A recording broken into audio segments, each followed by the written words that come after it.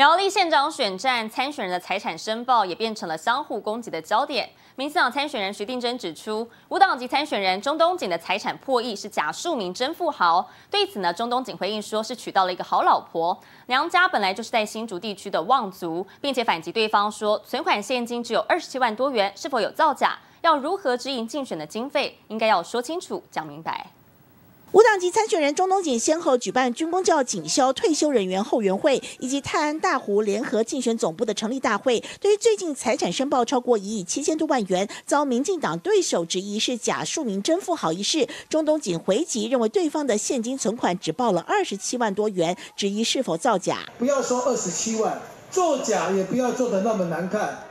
办一场活动靠党的资源。宋文锦表示，他在投资理财上比较传统，主要是购买土地，加上太太原本就有继承家族的房产，虽然资产上亿元，但他也有上亿元的贷款。不过徐定珍条列出中东锦去年和今年的财产比较之下，发现金额不减反增，认为如果他的收入合法，是否可以跟民众分享一下他的致富之道？就是因为想改变苗栗，投入选举。才会让我的存款只剩下二十七万。